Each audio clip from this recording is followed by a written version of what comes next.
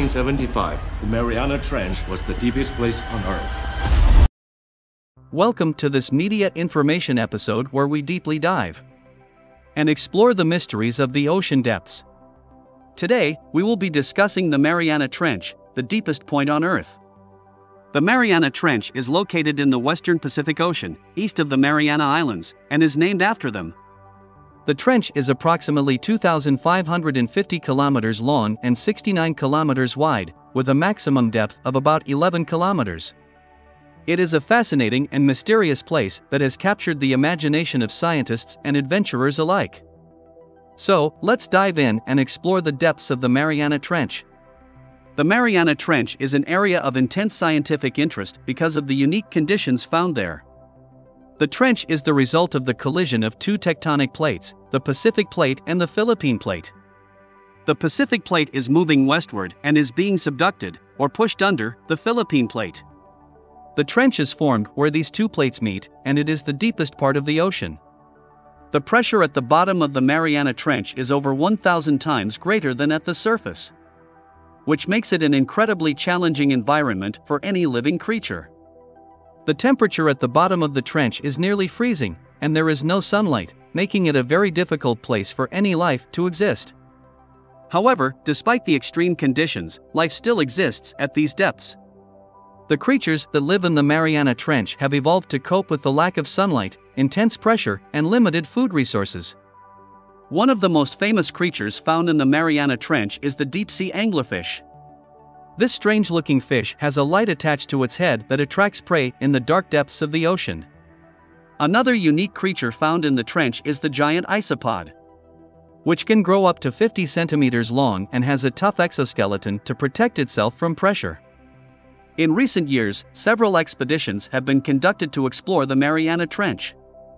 In 2012, James Cameron made a solo descent to the bottom of the trench in the Deep Sea Challenger submarine, becoming the first person to reach the deepest part of the ocean since 1960. The expedition discovered new species of sea creatures, including a type of amphipod that was over 10 centimeters long. Scientists are also interested in the Mariana Trench because of the potential for discovering new species and understanding the geology of the area. The trench provides a unique environment for studying the ocean and the Earth's crust. Scientists can use the trench's features to study how the Earth's crust is formed and how tectonic plates move. The Mariana Trench has also been the site of several international research projects. In 2016, a team of researchers from the United States, Japan, and Russia conducted a month long expedition to the trench to study its geology and biology. The team collected samples from the trench and discovered several new species of marine life.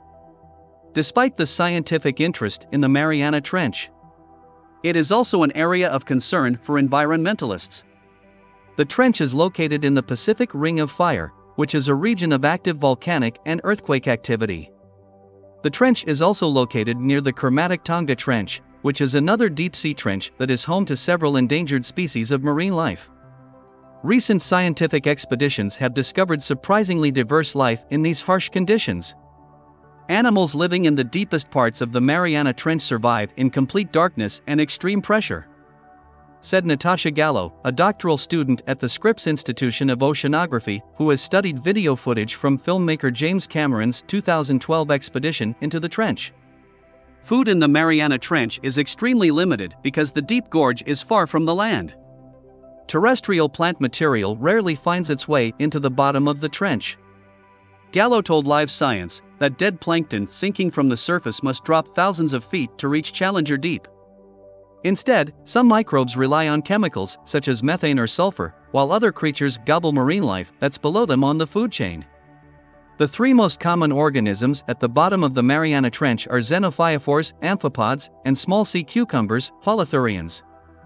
The single celled xenophyophores resemble giant amoebas, and they eat by surrounding and absorbing their food. Amphipods are shiny, shrimp like scavengers commonly found in deep sea trenches. How they survived down there was a bit of a mystery because amphipod shells dissolve easily in the high pressures of the Mariana Trench. But in 2019, Japanese researchers found that at least one species of the Mariana Trench dwellers uses aluminum. extracted from seawater to shore up its shell. During Cameron's 2012 expedition, scientists also spotted microbial mats in the Sirena Deep, the zone east of the Challenger Deep. These clumps of microbes feed on hydrogen and methane released by chemical reactions between seawater and rocks. One of the region's top predators is a deceptively vulnerable looking fish.